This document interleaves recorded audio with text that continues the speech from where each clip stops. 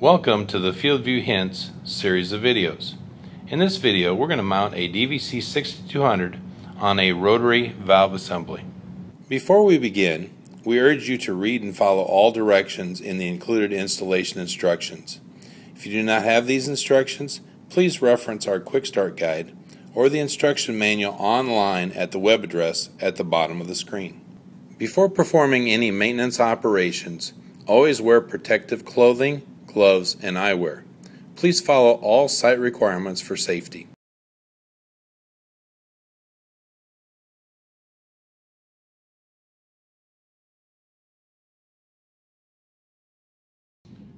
Before mounting the DVC 6200 on the rotary actuator, we need to ensure there is a cam on the actuator's lever.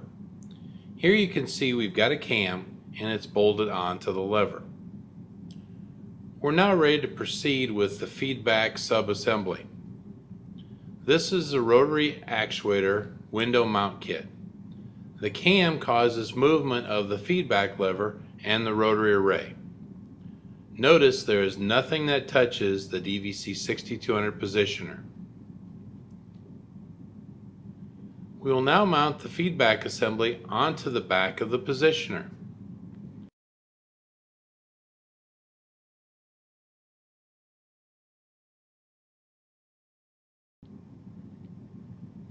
Make sure you have all four bolts started.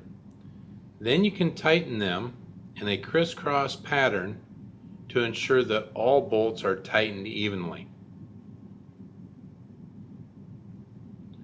We now have attached the mounting adapter with the lever assembly to the back of the DVC 6200. The next step is to ensure that when we place this assembly on the actuator, the roller rides on top of the cam. We don't want it to get off to the side or underneath the cam. We want to make sure the lever is riding on top of it. Install the four mounting bolts, two on the top and two on the very bottom. Once you've got all four bolts started, you can tighten them all evenly.